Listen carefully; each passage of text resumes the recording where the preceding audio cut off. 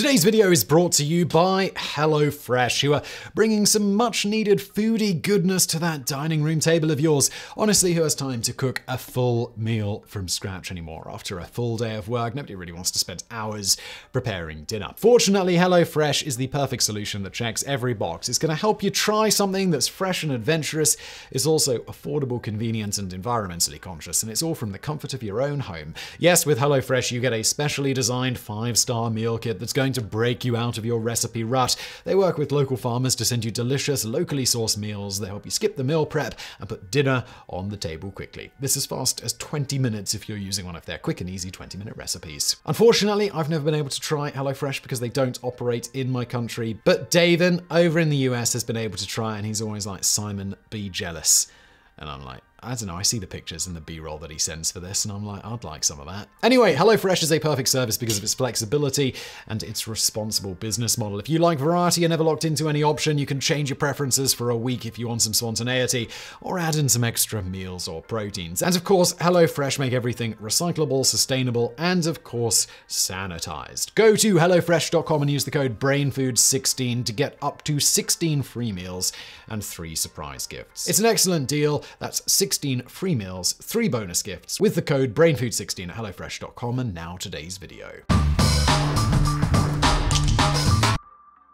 The human body is an odd thing. Incredibly fragile, yet at the same time, surprisingly resilient. On the one hand, even the most seemingly minor injuries can result in an untimely death. For example, in October 1911, Jack Daniel, founder of the famous Tennessee distillery, entered his office and attempted to open the safe, but the lock proved troublesome, and after trying and failing several times to open the door, he lost his temper and kicked the safe, breaking his toe in the process. Infection soon set in, and Daniel died within days. On the other hand, however, many individuals throughout history have demonstrated the ability to absorb punishment that would kill the average person and still keep on breathing.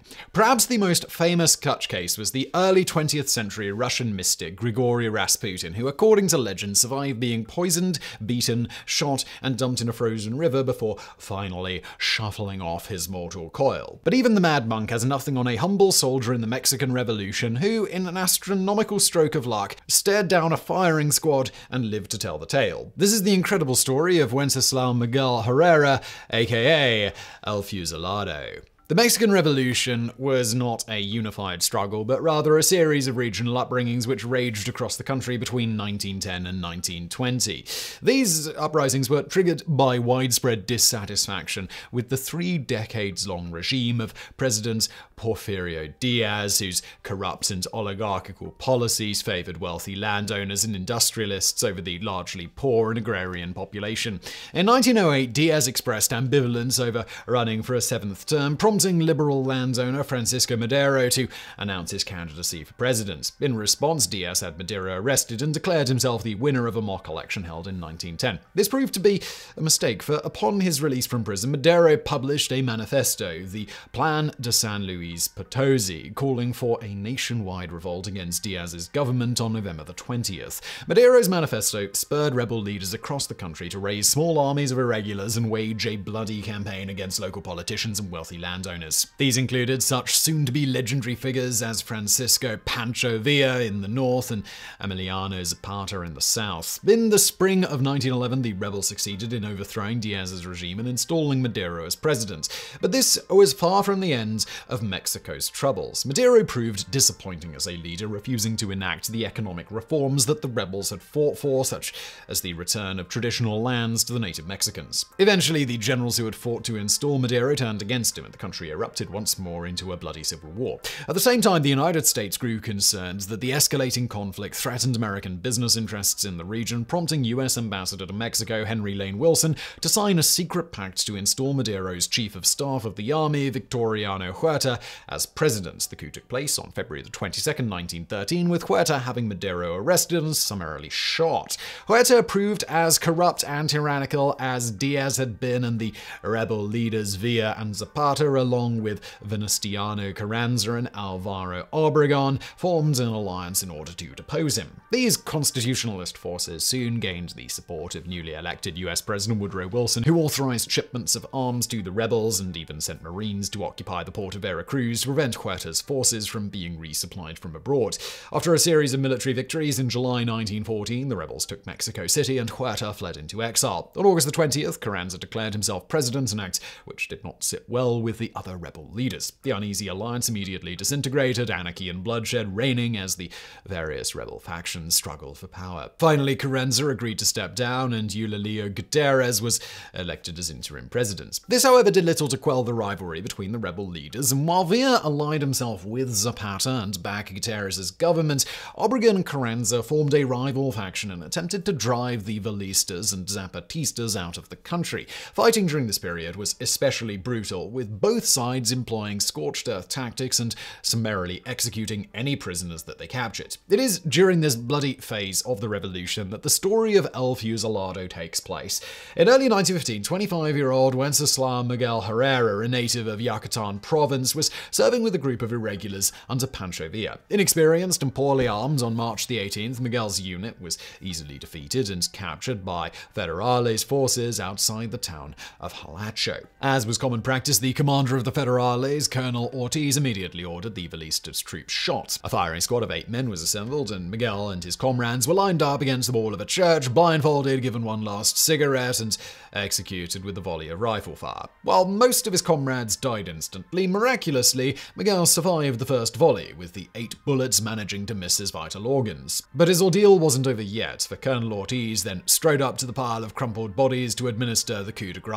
Finding Miguel still breathing, Ortiz pressed the revolver against the prisoner's head and pulled the trigger. While such a point blank shot would have killed most people, as you might have guessed, Miguel was not most people. By another extraordinary stroke of luck, the bullet entered Miguel's right cheek and exited under his left eye, missing his brain entirely. Shocked to find himself still alive and realizing that the next time he wouldn't be so lucky, Miguel held his breath and pretended to be dead. Satisfied that all his prisoners had been dispatched, Colonel Ortiz and his troops packed up and marched off, leaving the bodies where they lay. Accounts differ as to what happened next, with some claiming Miguel was discovered by passing Federales forces and given medical attention. Others claim that Miguel, riddled with holes and in excruciating pain, managed to drag himself three blocks to the church of James the Apostle, where a parishioner took him in, sewed up his wounds, and nursed him back to health. This latter feat seems particularly unbelievable given the weight of the massive horseshoe Miguel must have had wedged up his backside. Whatever the case, the ordeal left Miguel alive but badly disfigured. But despite having escaped near certain death, Miguel was still a wanted man and remained hidden in the church until well after the revolution had ended. The Civil War had not gone well for the Villistas and Zapatistas, blaming US President Wilson's support of Carranza for his failures. In 1916, Pancho Villa launched a campaign of retribution against American settlements,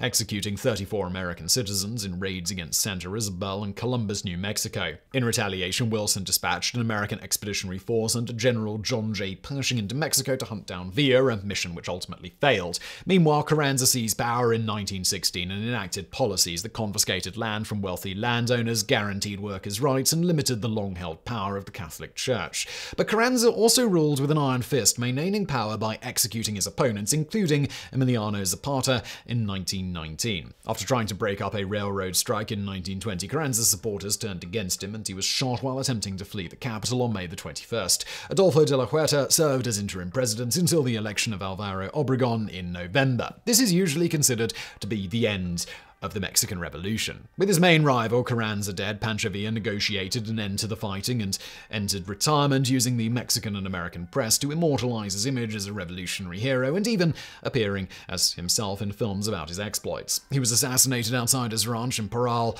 on July the 20th, 1923, likely on the orders of President Obregon. As for Miguel, word of his extraordinary survival spread throughout Mexico, earning him the incredibly badass nickname of El Fusilado, or the Executed One. But life in post-revolutionary Mexico was hard for Miguel, and in 1930 he emigrated to the United States in search of a better life. While few in the US had heard of Miguel, his pronounced disfigurement attracted attention wherever he went, eventually bringing Miguel to the attention of cartoonist and purveyor of the weird and wonderful Jack Ripley. On July the 16th, 1937, Miguel appeared as a guest on Ripley's radio show, introducing his story to the American public and turning him into a minor celebrity. Miguel toured the United States for several years before finally returning to Mexico and his home in Yucatan province. Incredibly, he lived a long and healthy life, passing away on July the 29th, 1976, at the ripe old age of 86. Rasputin, eat your heart out. So I hope you enjoyed today's video. If you did, why not check out a video I've recently made on a new channel, the Mexican-American War. Interesting expansion of some of the history